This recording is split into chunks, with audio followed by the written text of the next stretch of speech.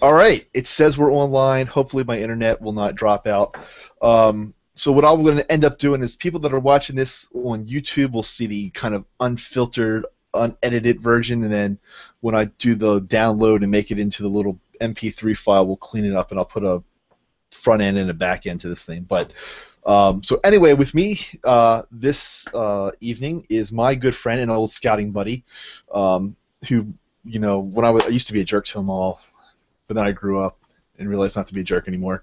But he took it well, and he is now a fine. He's a fine young man because, well, relative speaking, we're all getting old. Um, we're all old people. We're all old people now. We're getting it's like it's sad. It really is. But uh, so his name is uh, Mike as well, Mike Celey. He is a uh, professor, right?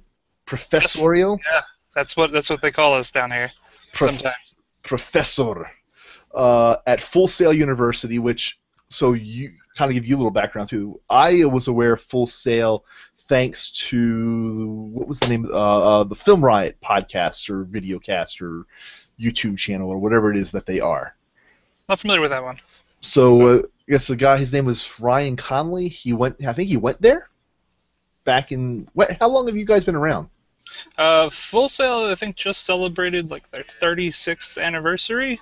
Whoa! Um, I didn't know that. We haven't been a university for a very long time. I think we started as a university in 2008.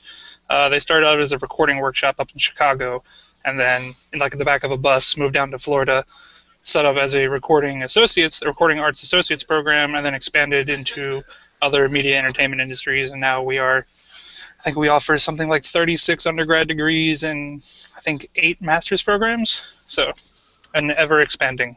So. Yeah, because I looked at the website before, like you, you're trying to be semi-serious about doing this podcasting, and I was like, and the last time I looked at it probably was when I came down to visit you guys, like two was it two years ago now? Almost two years. Oh wow, yeah, it's probably been about a year and a half, yeah, something like that. And time flies when you're getting old. Um, exactly. well, you really did though, right? You moved down. Yeah, I, I moved down here. I actually went to school at Full Sail. Um, I started school back here in 2007. We were actually called Full Sail Real World Education, uh, right before they became a university. Um, I actually heard about the school. You said you heard about it through somebody else's uh, podcast or YouTube channel. Um, I originally heard about the school because I wanted to make video games, and I was reading through different game companies, and Square Enix was the big one that I wanted to work for, and they actually recommended to either go to DigiPen out in California or Full Sail University or Full Sail Real World Education down here in Florida. So this one was a lot closer, so I came down to Full Sail, and I don't regret it. It's been awesome. When so uh, I'm trying to remember. Like, I left the Glen Burnie area in 1999. And you were, Merchant Marines, right? Uh, yes, URA Merchant Marine. That that didn't go anywhere. you know, I liked being out at sea. I didn't like being out at sea for like 13 months at a time. Well, yeah, I can see that. Yeah, that was you know, that was that was the killer for me. Like you're always out at sea. So I went to the Navy, and we were at sea less. Which doesn't make any sense. the Navy, the people who are always on the water. Yeah, you know, moving goods actually takes more work than blowing bad guys up. Go figure. That's impressive. You know, I think about when when really has the last time like World War II was the real last big Navy to Navy battles. You don't well, Navy, yeah, probably the last big navy to navy battles. But I mean, there's lots of they do patrols and drills all the time, and you know shows of force out in that's right, like around the Mediterranean. I think in the, the eastern part of the Mediterranean and. We, we got our friends with the Libyans. Yeah, they're all yeah. always nice guys. All those other places you hear about on the news. Yep. But anyway, this is not about the Navy or me. This is about you and Full Sail University. So let's go back. So you graduated. Well, you had been in high school. What 2002? Five. I'm five. You're really that much younger. God damn. Yeah, I'm that much younger. So. So 2005, graduate.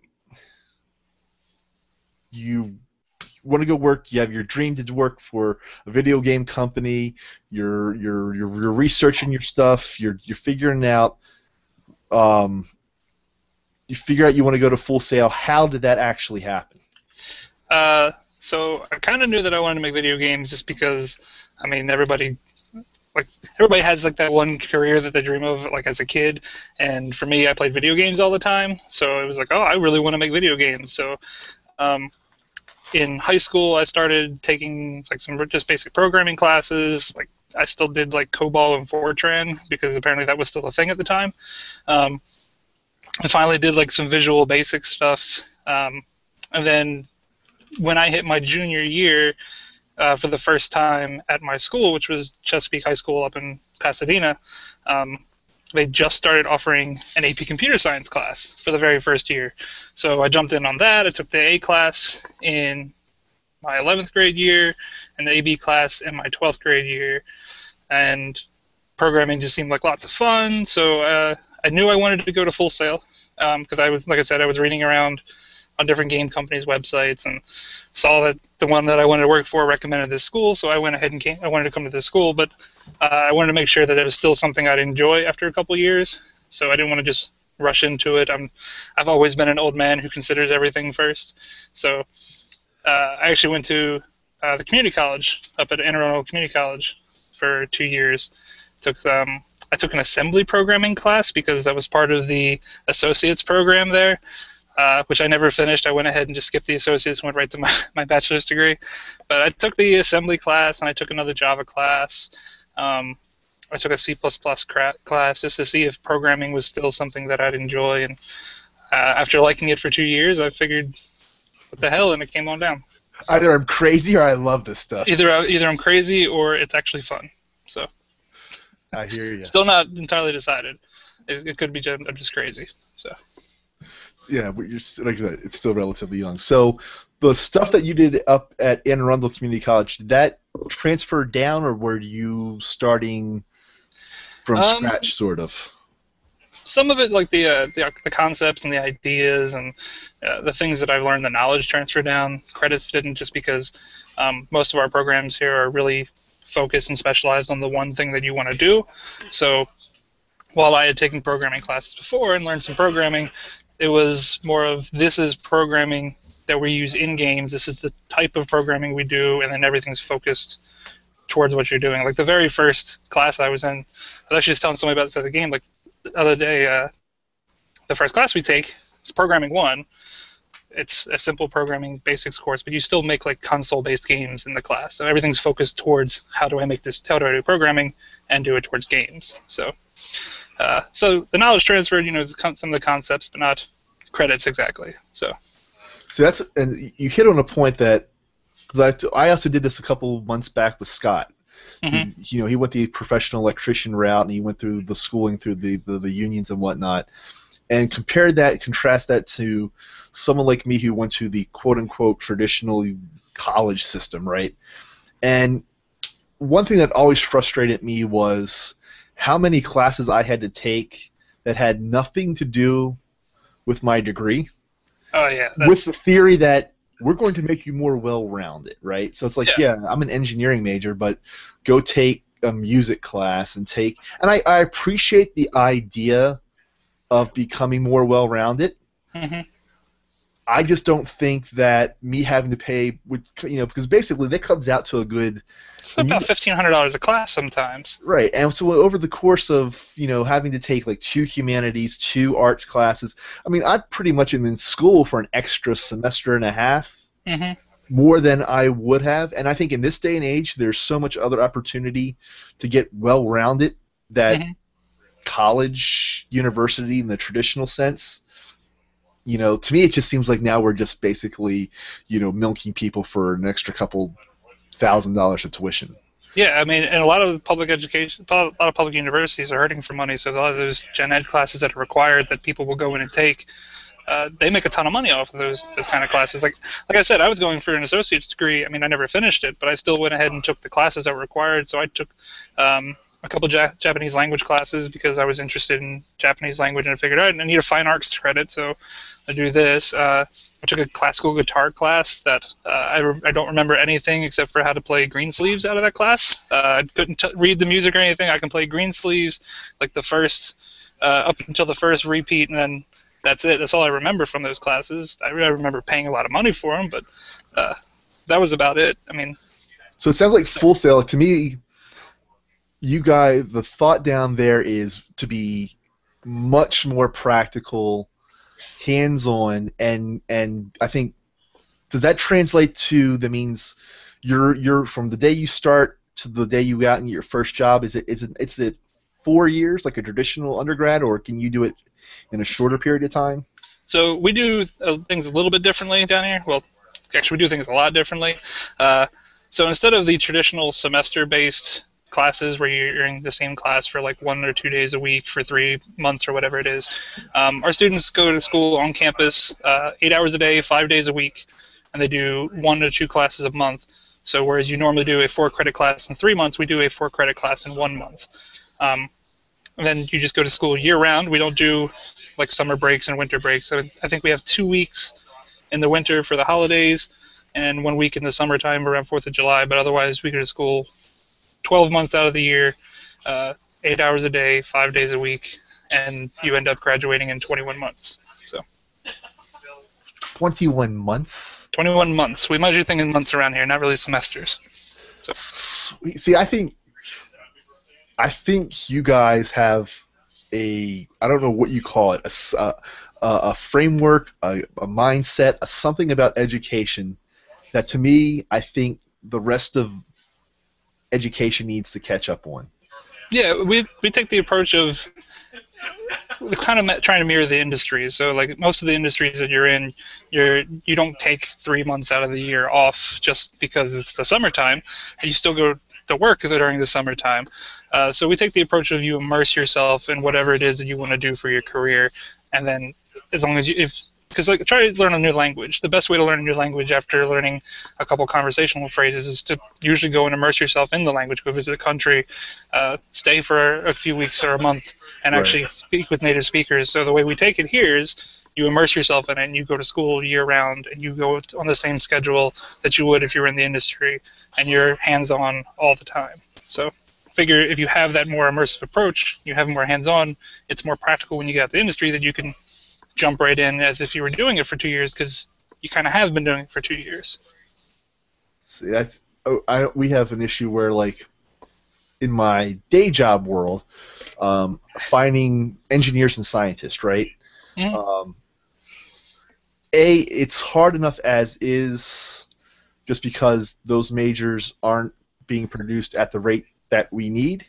But even, and I'll admit, you know, even when I came out of college, you know, 12, 13, 14, 15, whatever years ago now. um, you know, I'll, I'll, be the first to admit that I had a very good theoretical understanding of things.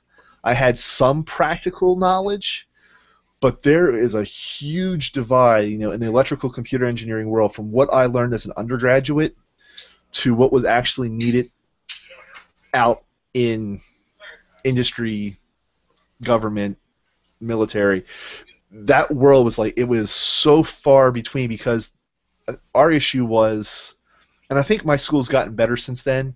We didn't have a good, really good connection to private industry, um, and a lot of people that were teaching there got their PhDs in the you know 1960 something, 1970s, before there was even personal computers, and now they're teaching computer engineering classes based on an academic, you know, experience that's so dated. Yeah, yeah, that, um, that's that's a pretty big problem. Uh, I know um, the accrediting commission that we use for the school is the uh, accrediting commission for career schools and colleges. Um, they actually require four years of industry of practical industry experience in your field to become a teacher. It's not just you can't go through academics and then jump right into teaching. You have to have some sort of hands-on experience before um, starting to teach here too, because that's a, that's a huge problem, especially like I work in the mobile development industry. That's that's always been my thing. Um, I wanted to make games, but when I graduated, game companies were laying people off. So um, Android we had just come out a couple months prior, so I jumped into Android and I started learning that, and that's what I've done since I've graduated. And that changes every three to six months. It completely changes. So, like if I took what I learned, I, I graduated 2009. If I took what I learned in 2009 and applied it to today, everybody would be building for an Android platform that is no longer supported and hasn't been for about four years now. So uh, I think it, has got exactly. it has a less than 0.01% market share. So it's not going. I'm not going to teach anybody anything that's relevant if that's the only experience that I had. So, um, I, I, also like. I mean, I don't know how it is in most other fields. I mean, uh, some industries like we do have recording arts programs and film programs that uh, the industry changes quite often, but it doesn't change in a major way more than like it doesn't change as fast. as maybe every couple years. Um, new camera technologies like 4K just came out. So think of how long 1080p was a standard uh, video format for a long time, and now 4K is just coming out. There was a good four or five year period where you don't have to update any of your camera tech classes or anything. So I, am in a situation where Android always comes out with something new every three to six months. We have to always keep things up to date, learn new things. So it's one of those things we always stay up to date. Um, and just by having that hands-on approach, it helps us stay up to date all the time. All of our instructors have to keep up to date the same way that all of our students do. So, so let's does um, let me ask you this because I, I know in, in my world, um, especially in the you know the, the federal sector right now with budgets being so horrible, um, you know, the ability to keep up is is a financial, you know, is it, it really comes down to financial, right? It's it's always a financial limitation because you have engineers that you're paying that you need you need them to work on something that to keep up to date on a lot of these new things, you got to actually give them some time to actually take a moment, read up on new documentation, try out a couple new projects, learn how things work. You don't always get the time for it because everybody has to be paid to do something, and if you're right. going to be paying somebody money and you don't have a lot of it, that person's going to have to be working on actual projects and make money. So.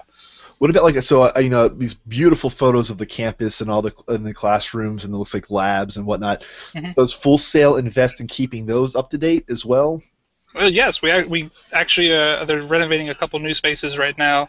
Um, I know when I came to school here, we had um, one of the game dev labs that we had was a room full of the at the time what was state of the art like Alienware computers that were um, hardcore gaming rigs because it was a class where we did a lot of um, it was our one class because we're mostly programmers. We have uh, computer animation programs here that do more of the graphic side of things, but uh, they, they, had a class where we get to learn about graphics and actually integrate with graphical editors, and so we had the most up-to-date, top-of-the-line gaming computers because they were also the best for rendering because they had some of the best graphic cards and everything, and when I graduated, when I started, they were really great, and then the way computers were running at the time, like every year, they got infinitely better. Um, by the time I graduated, the lab had been replaced, and then when I came back to work here about a year and a half ago, the lab was completely different yet again. So, um, it's and that and we all run Apple hardware, so most most of our students run Apple hardware. Uh, mainly in our degree because we do iOS development, you need to have an Apple computer. But um, uh, we actually just all upgraded to the Retina MacBooks because that's what the newest standard is. That's what Apple says. This is our new development machine. This is our new machine. We're not even going to make the non-Retinas anymore. So we, everybody's we're in the process now of updating the Retinas. Our department's done it. A couple other ones are working on it. So um, yeah, we have to stay up to date because if we don't graduate students who are up to date, then nobody's going to want to hire them, and nobody wants to hire our graduate students aren't going to want to come here. So, right, it becomes a circle. It's a, it's a giant circle. So it all it all spawns from us having to stay up to date all the time. So. So let's talk a little bit about what you actually do day to day. So you are, you know, a professor.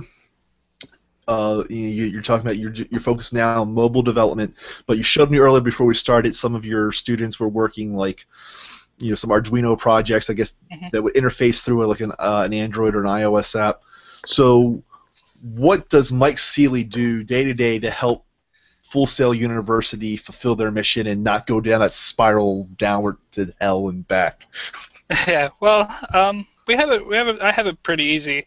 Um, most months. I mean, I do have occasional months where I'm swamped. I'm, I'm I'm working under the gun this month because I'm, I'm in the con- actually in the process of writing new content. Uh, to update for some new stuff that came out in the latest version of Android. Um, and then Android Studio, which is the development environment for Android, has just got updated to Android 1.1. Um, and the Android Developer Channel is putting out a whole new vi- video series on um, their introduction to Android Studio. And I, I, had been using it for since it came. I, I started using it when it came, hit uh, version 0.9 because I was an Eclipse guy. I was kind of well entrenched, so I didn't want to switch. I was kind of hoping they'd support both. They didn't. So um, they started coming out. I started with 09, and I just watched this video last night. I mean, I've been using this for five months now, and I learned something from their video last night. So now I'm in the process of adding this into like uh, the Dev Byte series into the class, um, the information into some of our course materials, and relaunching that next month. But um, when I'm not swamped in writing uh, new curriculum all the time, um, I, I, work on projects. I, still take on um, side projects from clients. Um, not nearly as many as I used to when I had when I needed to. When I when I was between jobs, I, work, I took on a lot of clients just because that's what I needed to do. But um, I take on occasional ones now. I kind of work on projects that I find are interesting. Um, clients who want to work with the most up-to-date stuff because most of your clients are going to work want to work with whatever has the largest market share. Right. So in in the mobile in the mobile world, if you're on Apple, the largest market share is usually the most up-to-date uh, OS. Where on Android, it might be the year-old OS is the biggest market share. But if I teach like my students something that's a year old and they graduate a year and a half from now, what they're learning is no longer useful. So I always try to find clients that want to work with um, the latest versions of Android, people who are more forward thinking, who know that in the next six months it's going to be the largest version. They just have to, uh, you know, trust that it's going to be the next big thing. So, um, so I try and take on some clients, um, but most of the time I, I spend I answer uh, questions from students. Uh, a couple days a week I, I spend grading because uh, we do mostly weekly turn-ins for our assignments um, for larger projects. So a couple days a week I'm grading. Most of the time I'm helping students, and then three days a week I actually lecture here on campus. So.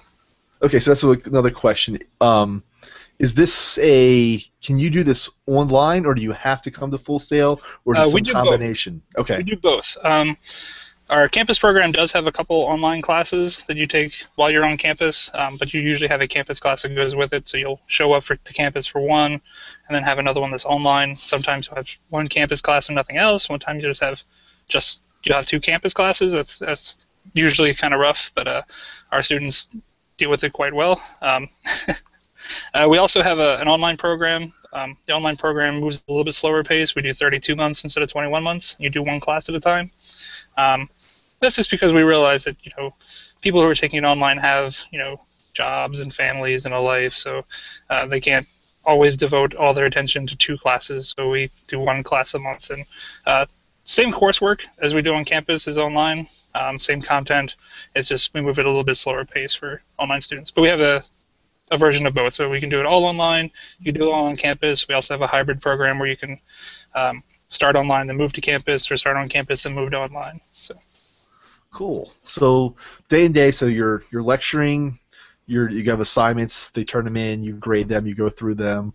Um, is the so is it more project based? Is is the the grading more? Are there I guess another way to put this? Is there quizzes, homeworks, tests, or is it more just here's a project that will help you know you'll learn some skills that will be applicable to you know what you do in the real world eventually. Uh, everybody does their class a little different. I mean, we're one of the few schools that allows like a little bit more freedom for the instructor. So, whereas some schools you'll show up, especially if you're like you're if you're an adjunct, you'll show up, you'll be given some curriculum and be told this is what you teach, these are the assignments, this is how you grade them. Um, we our instructors are allowed to set up their class however they want. Like they have certain objectives that need to be met, uh, learning outcomes that need to be met for the class, but otherwise the curriculum can be structured in different ways. Um, for my class personally, um, uh, I set things up a little differently between online and campus. It's the same content, just different assignments. So more of our campus students would do um, longer weekly assignments so that they can work at their own pace and turn them in when they're done, so that they don't have to do things every single day. They could you know, maybe one day they can work for 10 hours on classwork, maybe the next day they can only work two. So if I had daily assignments, then they do really well one day and then maybe really poorly the next. So um, online we do more weekly projects, and they're complete projects. They're uh, the first one I have in my class is it's a media player. It uses service and notifications. It uses the Android Media Playback classes. It's a fully functioning media player that you could give to anybody and they could play the music on their phone with. Um, for our campus students, we do I do things a little bit differently. I do instead of four weekly projects, one for each week, we do two week-long projects that are given as homework throughout the class, and then each day they come to class. We do four hours of lecture and then four hours of lab, um, which it's it, after a while you run out of to talk about it. You, you stop you stop uh, wanting to hear yourself speak after four hours. So that's pretty hardcore, but, uh, man. Yeah, it's that, we, we put we get the students get it rough down here, but it's it's like I said, we immerse them in what they're doing. So, um, the four hours of lab works out really well though because that's four hours where they're in a classroom, minimal distractions, and I can give them a full project to work on every single day. So, the projects are obviously much smaller in scope than I would give for a week-long assignment, but right. each one is a very specific project. It has one main function to it uses whatever materials they learned for the day, and they do the project. And at the end of lab, they would turn it in, or if they didn't quite finish it, they can take it home. And I think um, the way our platform is set up for submissions, they have until midnight that night to get it turned in. Um, and then I also do it's a quick quiz every single day, just on previous day's material, just kind of, hey, just remember we did this last time. They're weighted really low. It's just a way to kind of get people to not forget everything they learned two days ago because otherwise people will start brain dumping like all right i learned this this day but now i have another project i have to do so i'm going to learn the next thing the next day so kind of a way to get them to retain things between classes so so it seems like you know, in the again going back to the quote unquote traditional like the I guess we have old media, we have old education now. Mm-hmm. Um, you know, the academic obviously is a, is a lot less um, intense. You know, maybe you're lucky to have maybe one or two one hour lectures a week. Um, some classes less than that even. Um, and it's you know, again it's it's more it's very academic and the way you're expected to offset the you know the, the the or I guess gain additional experiences to go out and get internships um, while you're in school or during your summer break or whatever. But it sounds like you guys, because the workload is, um, uh, I would say, a little bit more intense and you're you're you're lecturing and you're in lab longer. Um, it sounds like that that you know, that is the real world experience that you're getting. Do you know if do any of your students though? Are, are they any of them really crazy that like even on top of doing all this work they still do you know something else on the side because you're down in Orlando and I'm assuming yeah. you know there's lots of opportunities. Yeah, Orlando is actually trying to become a like a new tech hub for the country. Um, some of the com- companies down here, um, like EA Tiburon is down here. They make all of your Madden sports games. Um, there's Echo Interactive Group, which is a mobile development company that's located downtown. They just opened up, or we're a partner in opening up a co-working space uh, called Canvas downtown. Um, they're actually trying to start a technology conference down here. The Orlando, I think it's the Orlando X conference, or Orlando XI conference. I don't remember the name of it. They've been talking about it for a while now. I haven't haven't had the opportunity to read too much on it though. Um, so th- there are a lot of technology companies down here, a lot of tech jobs. Uh, the simulation industry is huge down here. So people who ever want to, even want to move from mobile to get into simulation. Um, we also have simulation degrees on campus. We partner with a lot of those companies.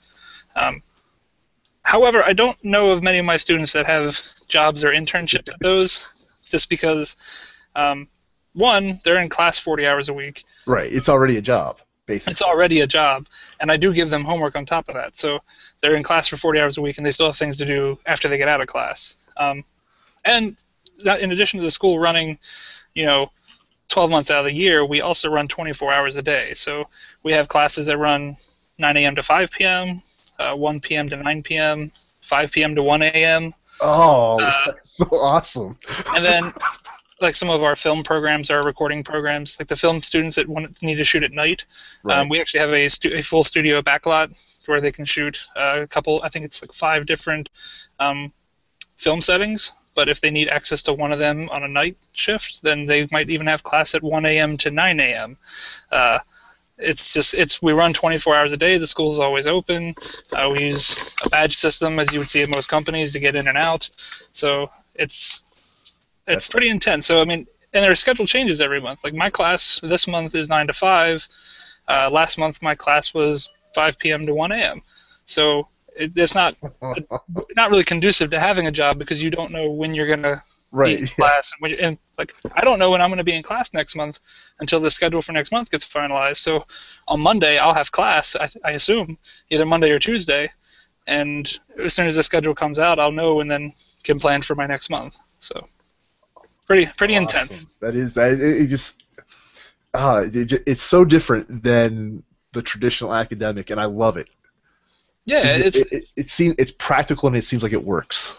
Yeah, I mean you're always working, but surprisingly, like having been a student here, like I'm okay with saying it because I mean, most of my students are pretty swamped in work right now. But uh, like you still find time in all of that to work on side projects. Like you don't necessarily have the time to you know go out and find a job and work a steady job just because the hours are being crazy. But the way you work, I mean, you take this isn't a you pick your classes you want to take either. It's this is the 21 months. Here's your schedule. This are the classes you're going to go to. Whoever's in that first class with you assuming everybody passes and moves on, you're in that same cohort from day one of school till the day you graduate. Oh, that's so cool too.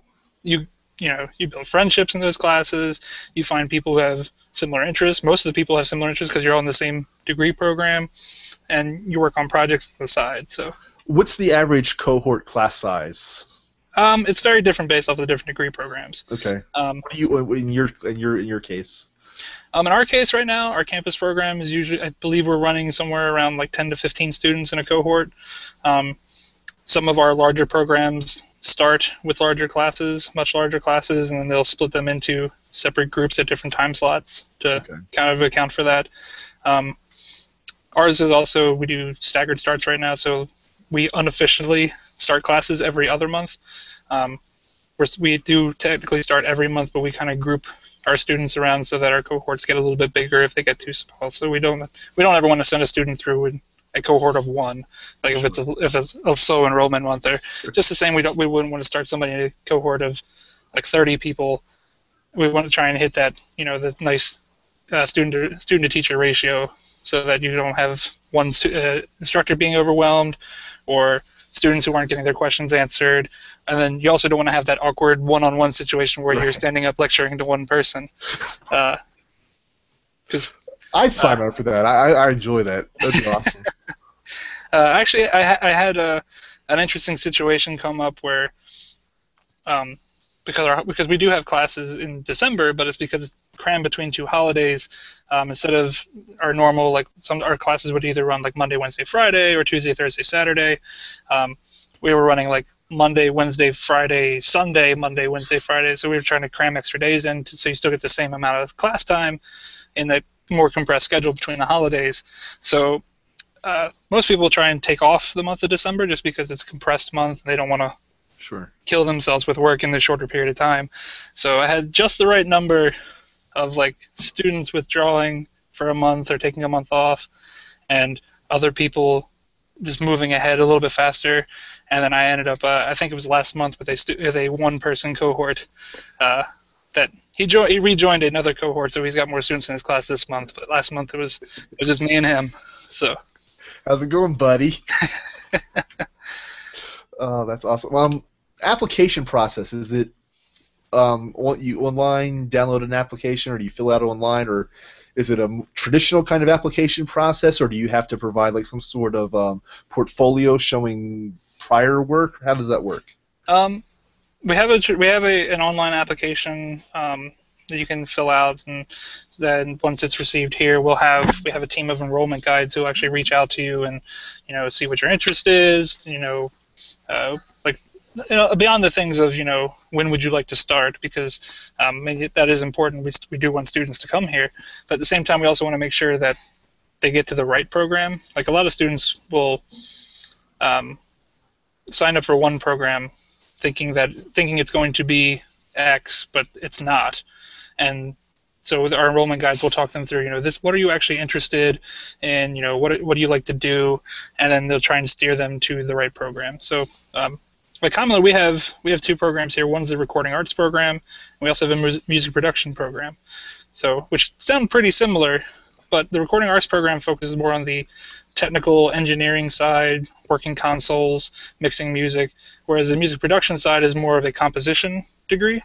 So there look at some students that come here that they want to work on the they work on want to work on the consoles, but they like the sound of music production, so they want to go the music production degree.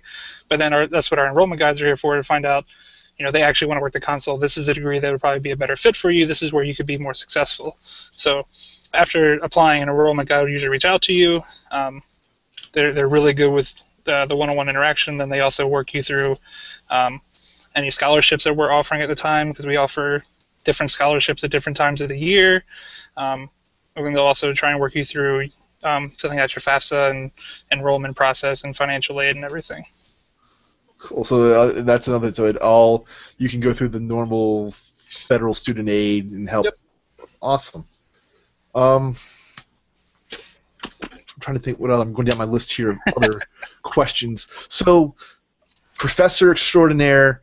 Um, you also love. You said you love. You know, and who what you know, dude doesn't playing lots of video games. Yeah, Video video, games. all the time. Um, what other hobbies or other things? And you can't answer with sleep. You've already told me that one too. Ah, Um, what it? What else do you do to help? You know, and is it something that you do that directly, um, you know, reinforces what you do as a as a day job or as a consultant, or is there other other, other weird hobbies you do that just are for you are fun, exciting? Uh, I have lots of little hobbies. Most of them I don't even I don't get a chance to do as often anymore. Uh, the one that I, I, I like to do all the time, and my wife tells me all the time this isn't a hobby; it's actually work. Um, I, I program a lot in my spare time, um, so I don't make games for a living, but games have always been that thing that I like to do. So, um, in addition to playing them all the time, which uh, like I told I was, I was telling you earlier, I play, I've been playing a lot of Destiny lately. Um, to the point where my wife is kind of getting mad at me for playing too much Destiny. Uh, I, I also try. I play around with uh, the Unity game engine as for making games. Um, uh, before I got into Unity, I did some XNA stuff before Microsoft killed it off. Uh, just made a couple XNA games for like Windows Phone and uh, the Xbox Live Indie Games channel. Just things that would that I enjoyed doing. It was always it, it's a an opportunity for me to work on something that I don't typically work on every day.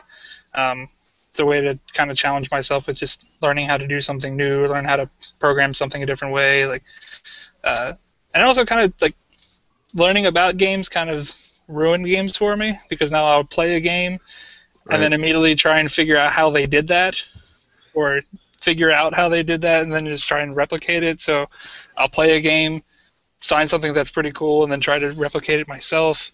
Um, the most recent one that I tried to do was actually uh, there's a, a fight in Destiny where um, you start to go blind and they get like this black uh, sludge thing coming in from the screen till it's and it starts like getting the lines between the sludge like it's dripping in and then just finally till you go completely blind and you can't see anything. So I tried to replicate a shader on how to do that.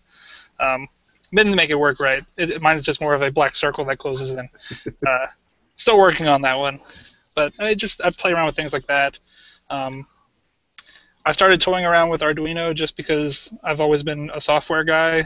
That I've been kind of interested in how to integrate software and hardware a little bit more. Um, I think the the first project I was going to try and work on that I haven't actually got around to doing yet. Um, I went through all the starter projects with the Arduino Uno board um, because they came with the whole starter kit from the Arduino website. I was trying to make like an automatic dog food dispenser for my dog, so I'd have so I don't have to like listen for him Right. to whine in my face to, that he wants food, and then I can go feed him. I could just like press a button and it would go feed him, or it would feed him on a timer.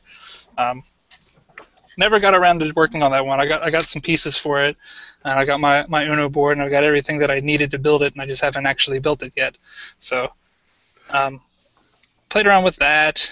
What else do I do? Um, I play Warhammer sometimes. Uh, the Warhammer the miniatures game. So putting together miniatures and painting those. Not really a technical thing, but it's it's it's a a very soothing hobby for me because I, I don't have to think as much. I just know that I have to very carefully shave down this guy's arm, and then so it fits into its socket, and then glue it so that it doesn't squish together and spew glue everywhere. And it's it's a soothing hobby for. Right, because every now and then you got to get your eyes off of pixels, you know. Yeah, exactly. That's when you'll, you'll go blind. Yeah, exactly. I, I I like things that make me think, and then things that don't make me think. So like, I, all my most of my programming is me thinking really hard all day, trying to figure out how to solve something, and then once I do, I don't ever want to think for the next couple days. Um, so I'll do something like that. Um, I'll go back to playing video games again. Uh, man, what what what else do I really do? That's a, that's a lot, you know. Cause, I mean, especially with the amount of commitment to, to, to do because teaching in general, to, the commitment that it takes to be a professor or teacher is huge, in my opinion. Yeah. Do it right, you know. Yeah, that, that that's that's the caveat there to do to do it right.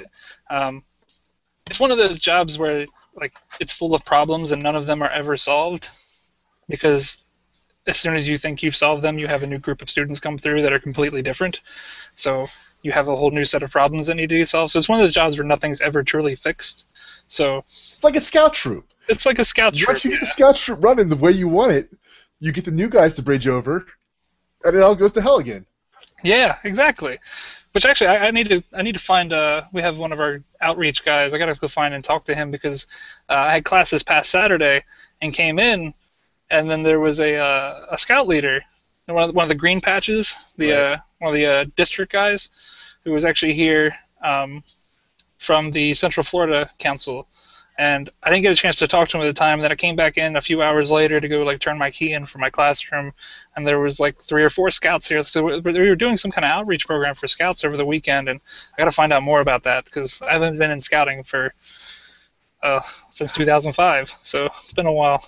Yeah, I know because I um I tried to get involved with our council down here a couple years back, but timing and other issues just didn't work out. But my um my father-in-law is still pretty big in scouts over the Eastern Shore, so he keeps me in the in the loop on what's happening. And like, you know, there's a scouting is finally getting with the 21st century. Like, they actually killed the computer merit badge and they replaced it with like digital technology.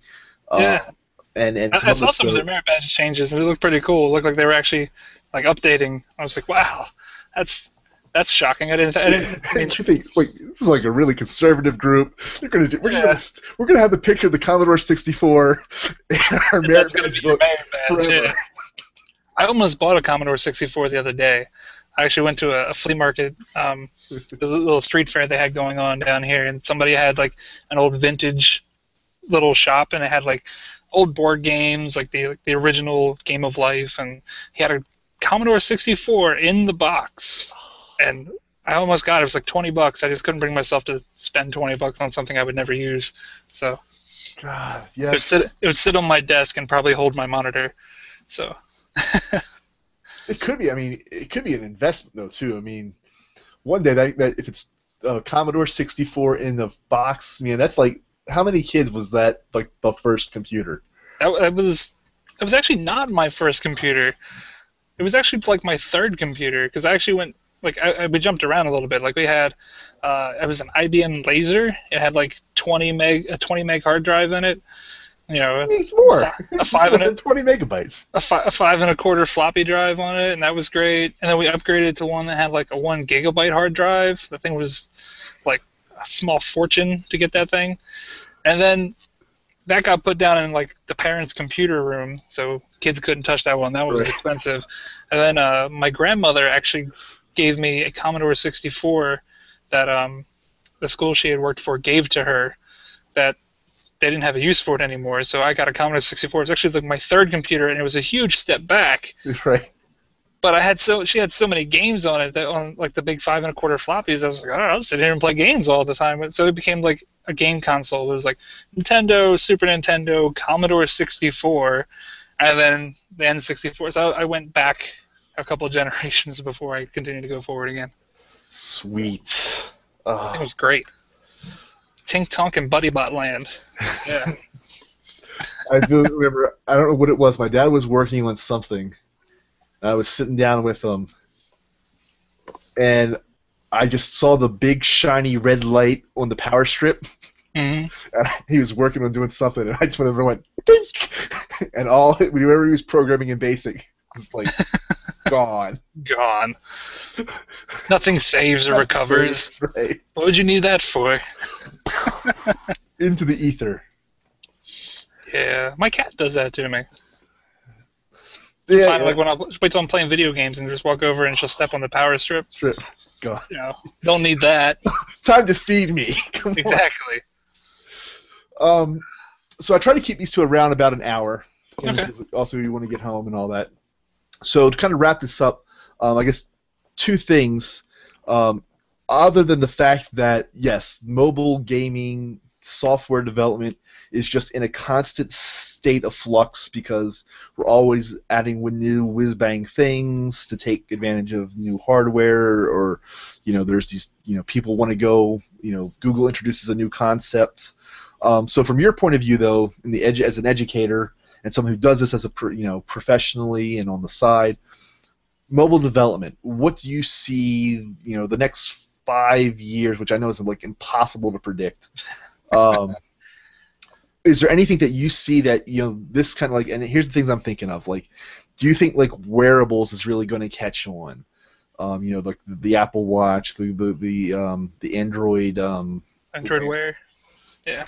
what kind of things do you think that you're going to have to be teaching in five years that you're not teaching today? If you had to, if you had a crystal ball and you could pretend like you could guess, what would you think? Uh, I honestly think the wearables thing is going to take off. Um, everybody's starting to get into a little bit more. I mean, Apple's Apple's finally going to make it cool. I think that's what's what it's actually going to take. Because, I mean, you look at the smartphone. I mean, BlackBerry tried really hard with the smartphone and Windows Mobile, and then like, Apple came out with their phone and made it cool. And everybody tried tablet computers and. Uh, Putting Windows 7 on a tablet didn't work out really well, but people still tried to do it all the time, and or they tried to make gigantic Android phones and call them tablets. And then Apple put out the iPad, and it was cool. So Unfortunately, Android- for better or for worse, depending on how you like it. yeah, so it's like uh, Android comes out and says, you know, this thing is going to be great. It's going to be the future. We got Android Wear. Um, my boss really loves. He's got an LG or not LG, uh, the Moto 360 uh, Android Wear device. He loves it. Um, he actually used it quite a bit, surprisingly, uh, because he also had a Google Glass that uh, used that quite a bit. And then I haven't seen it in almost six, seven months now, so he hasn't worn that around as much. Uh, I actually had a Google Glass and I sold mine because um, I just didn't have a use for it. But now the Apple Watch is going to come out, and Apple's going to tell everybody that they need it. And I think everybody's going to say, yes, Apple, I think we really need that. Take my So- money. But so I think I think the wearables thing is going to catch on. I mean, th- they're still trying to figure out. You know, it's it's one of those solutions without a problem right now, and I think the medical industry is really taking to it. Um, like a lot of the health tracker stuff that they put in it. Um, my boss again actually is the only time he ever talks about his Google Glass now is he's actually working on um, a, a medical application that works with Google Glass, and that's a lot of where this is going is it's it's hands-free stuff that I think it's going to push towards in the medical field. But um, so wearable stuff I think is going to catch on. We're actually already starting to teach some of that here. Um, it's kind of hard without it having a critical mass thing. We can't push it too hard. It's like a lot of people ask us every now and then, you know, why don't you teach Windows Phone? It's like, well, do you have one? No. It's like, well, that's why we're not teaching it because nobody has one. Um, Sorry. We would love to if. yeah, we teach mobile development, iOS and Android. You know, the things that have like 98% of the market. Um, Yeah. But I think I think the next like really big thing that they're pushing towards, and um, the media has actually picked up on it a lot the last few weeks, is um, moving into cars actually, because and you spend a lot of time in your cars and your people are doing uh, their commutes, especially if like you're out in LA and you're stuck in traffic for like 19 hours, uh, which I think is probably a on the low end. Yes, well, exactly. So, I mean, uh, Android Auto is coming out. I mean, they've been teasing it for a while. The first cars that are going to launch with Android Auto are supposed to be out this year. Um, I tried to hold out for one. I just couldn't hold out long enough. I needed a new car. Um, the Apple CarPlay is coming out around the same time. Um, Apple's been hiring a lot of auto industry experts and uh, car and like and like auto engineering ex- experts lately. That everybody thinks they're building a car. I don't know that they're going to be building one, but I know that they're definitely working on car technology. I mean, they've shown that they're taking that first step with CarPlay. I think it's going to be one of those things that really starts to take off is seeing more of these mobile platforms in other devices. So, that's Like- where uh, you remember uh, QT? that the for like I know in Python the Qt is how I draw my my Yeah, my kind of GUI, right? Yeah, it, it's a it's a it's a it's a GUI system. Um, I think I think can't remember the original company that had it. It was like Gator something. Uh, it was bought up by Nokia, which I think it's actually owned by Microsoft now. Which was uh, It's funny how the whole Yeah, it, it gets passed around. Yeah. It, it's a GUI library, or it's a GUI system that that's used for lots of different devices. Like uh, Nokia bought them, and they tried to put it on their Symbian phones. So they're, um, I think you could put it on S60 phones, and then like the Symbian Belle phones uh, that were out for about a month before they tanked them. But uh, MeeGo devices, so the OS that never was, also supported Qt. Um, they tried to put it on mobile, but it was actually originally started on like a lot of the interfaces for like smart TVs and your fridge, like all those smart like kitchen appliances are built with Qt. Um, so I think it's kind of funny now that all these other OSs like Android and iOS are coming up on mobile devices, but now they're starting to spread into the other devices. Right. Whereas the Qt took the we're going to be in embedded systems and then push onto mobile, and then Android and iOS right now is starting on mobile, and I think they're going to push out into every other device because I mean, mainly is because they want your data. That's how most of those companies make their money. Internet of Things. Just The Internet of Things. everything will have a chip in it, and it'll be sending it straight to the NSA. I mean, to Google. I mean. Yeah, I mean, I mean, think. I mean, Google bought up Nest for Mhm. um, their connected thermostats and CO2 detectors, and then uh, they led Nest with an acquisi- acquisition of Dropcam for connected like home security cameras or just connected cameras in general. So I mean, they they tried back in 2011 with uh, Android at Home that they hyped it up real big at their Google I/O conference, and then within six months nobody was talking about it because they, they nobody wanted it at the time. So now it's one of those things that's coming back, and people really like the Nest, and then they really like Dropcam, and now they're trying to make that. I think they're going to end up making, that push again. So Nest and Dropcam are probably going to come become Android at home again. because it was, it was the ADK, right? It was an Arduino based. But I still have that. That, that. That's actually still a thing. Is that still a thing? That is still a thing. I actually. Oh, you're giving me hope. I used that at my last job actually, um, quite often. Um, no, the ADK is actually just a way for your phone to be put in accessory mode, and then you're in, you have a an Arduino board that's in host mode that it can actually host the phone and use all like the phone sensors and the phone information and the touch input and use it as a display. Um, or you can put your phone in host mode and then the USB accessory in accessory mode and then actually access the device's sensors and then show it on the Android display. So it can go either way. So I actually did a little bit of work with that in my last job. We uh, did some USB byte command stuff and pulling data from USB devices over the uh, the USB connection. So like mass storage devices, like learning how to read mass storage devices without having to mount them, um, which was kind of entertaining uh, and really terrible to work on for a while because I had no idea what I was doing. But I got it working. You give me hope because I know I, I remember they it was like what 2012 at the Google I/O was the first time they showed it, and they showed it again in 13. But then I guess like last year or the last two years, Mhm. there was no ADK and there was no more updates. I was like, oh man, it's it's dead. it's still there, and it's it just it doesn't get as many big updates anymore because I mean it's it's pretty well supported and it's pretty stable right now. So there's not a whole lot of updates they need to make for it. So it's It just, all the up, yeah. all the updates are the piece of hardware that connects to the device that you really need to make updates for. And most of the maker community is doing that. I mean, I see your you got your little green guy back there, the laser pointer guy. Yep, my little guy, he's all set up. He's coming. He's coming here. He's working. Yeah, see, you hook that up to your Android phone, use the ADK, and you can control him and spin him around. Well, and so here's don't don't, don't hate me, right? So I I use the MIT App Inventor Mm, to do my app because I'm not. I'm not smart I'm not smart enough. See, look, I here's hear my that there's a guy who takes on projects that really likes to work on app. things like this. So, just you know, So. I know a guy. well, I would I would want to know a guy. See, I what I have to do now, I realize I have to enroll in Full Sail University because it, it is one of the things that I want to learn, and I I I think with the Android Studio becoming like you know okay yeah we're forcing down to this, so I think I may give it another shot with Studio. Mhm. Is that as good? it- Would you recommend? Is that would that be your recommendation? Oh yeah, I, I, I definitely recommend that anybody starting Android development now would definitely use Android Studio. Um, Eclipse was the dominant player for a long time, but um, they actually made it. They, I think they've uh, stopped supporting it. I think they got like one guy named Charlie who sits in a closet who still does the updates for Eclipse because they're really slow and sometimes broken. Um, the last update made it so that you actually had to uninstall everything and then reinstall it to update um, because he didn't like sign the package properly.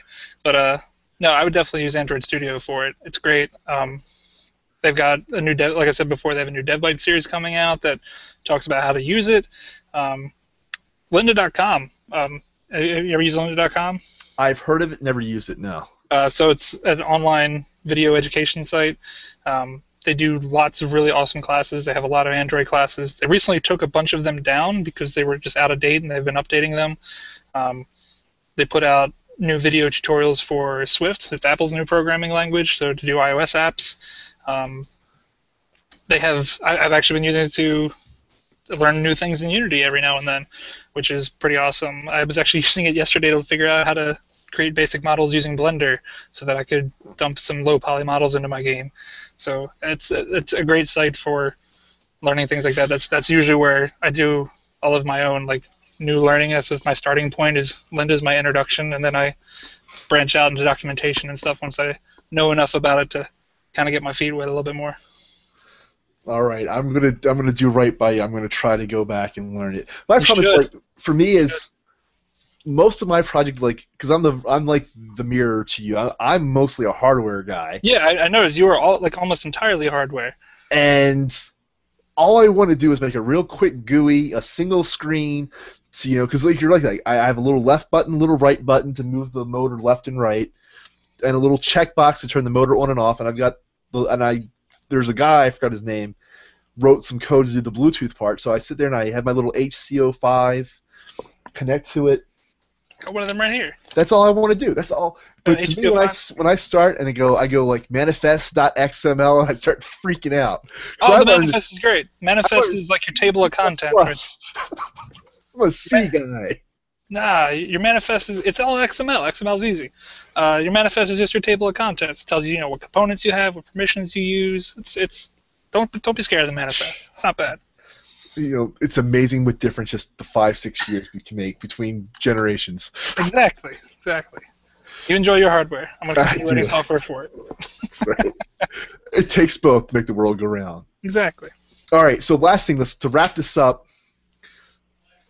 You had to go back. You got the. It's Back to the Future. You get to go back in time. You get to talk to yourself, or better yet, you go back. and You get to talk to me um, when I wasn't quite a jerk and I come. Uh, there goes my cat. I knew it. I saw it. I saw was. it. There she was. She waited to the end.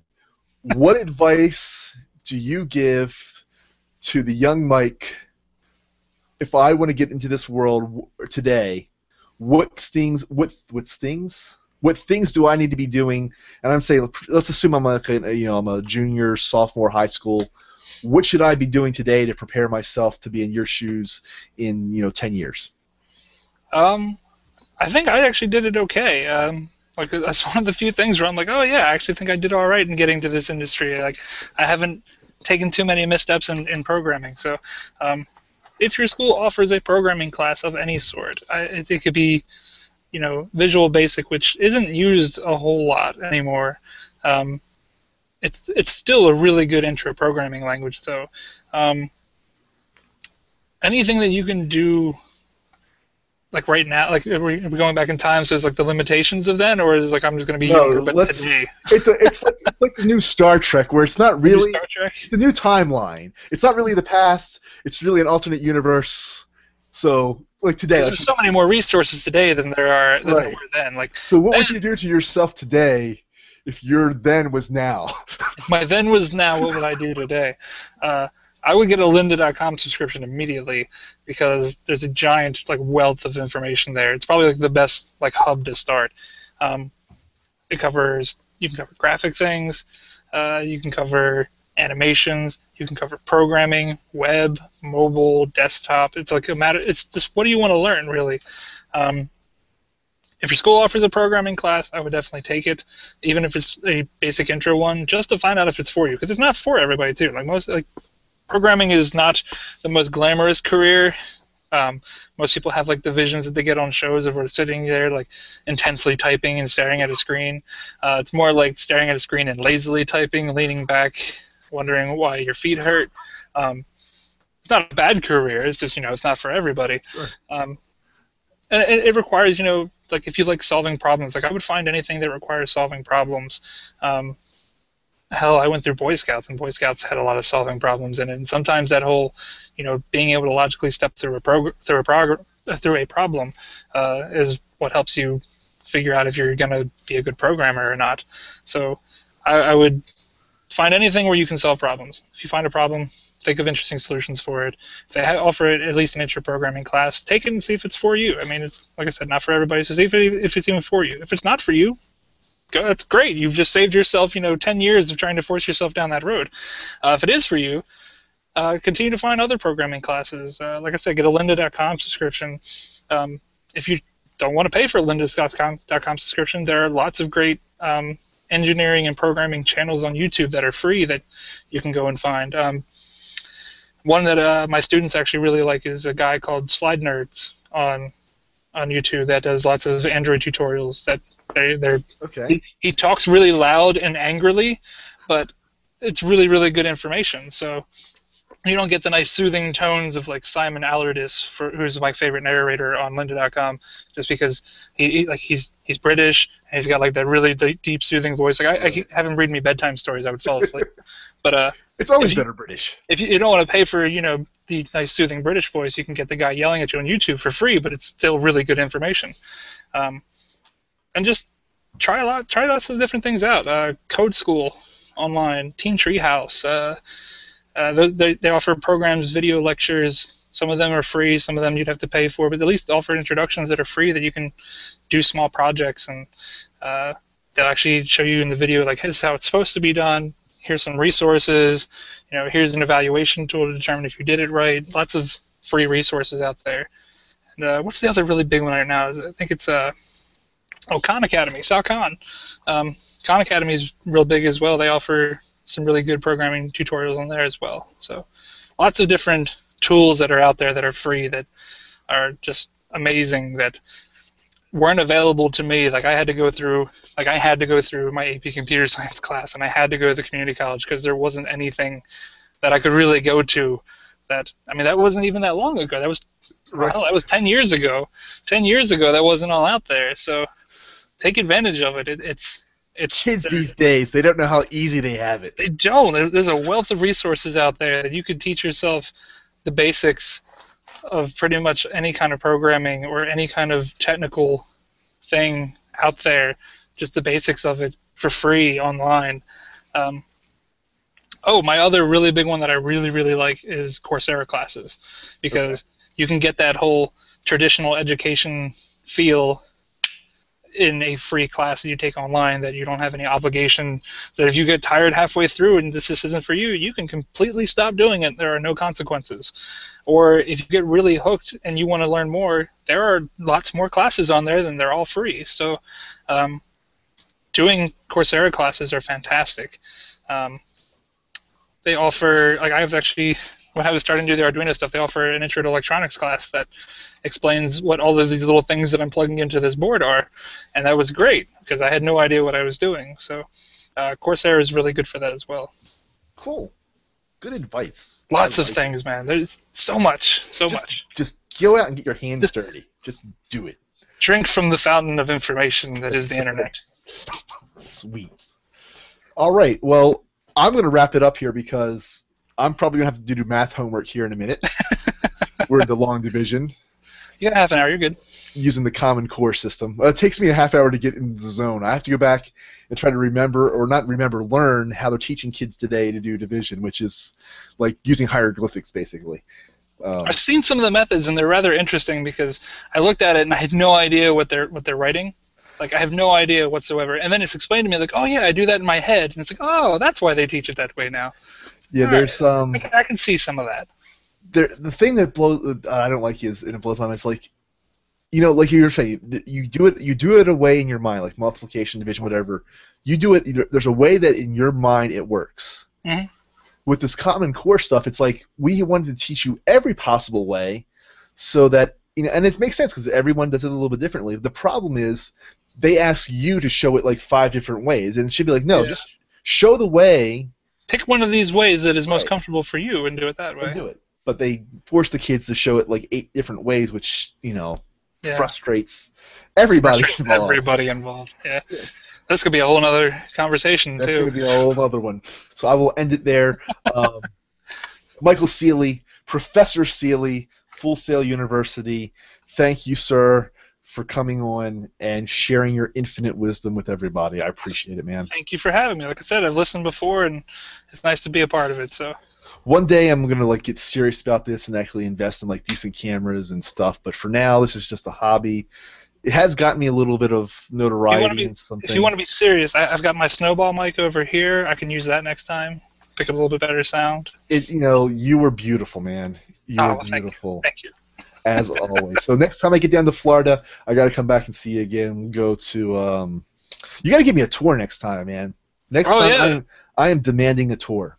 Dude, they have uh, riverboat tours around here, like the little tiny like paddle boats. No, I want the I canals want a, I want a full sail university tour, man. Oh, you, you can have one of them too. I want one of those. You'll have to come down when we do our behind the scenes tour. We actually have once a month we do a big old uh, behind the scenes tour, put on a big show. Everybody comes out. We get the tours of the campus, uh, workshops for your degree program. You do go hear from the president of the university, uh, and we feed you for the day. It's great. So I will cry. big shindig. beautiful. do it all. Do it once a month. It's great. Oh, I'm there. I just got to now convince the people to send me back down there. All well, right. you, you work on that, uh, and I will let you know when the behind the scenes tours are, and we will work one out. We'll figure this out. All right, Mr. Celey. Until next time, thank you very much, and um, yeah, really, really, really appreciate it. this. Was awesome. No, it's great. Thank you. All right, take care, man. See ya.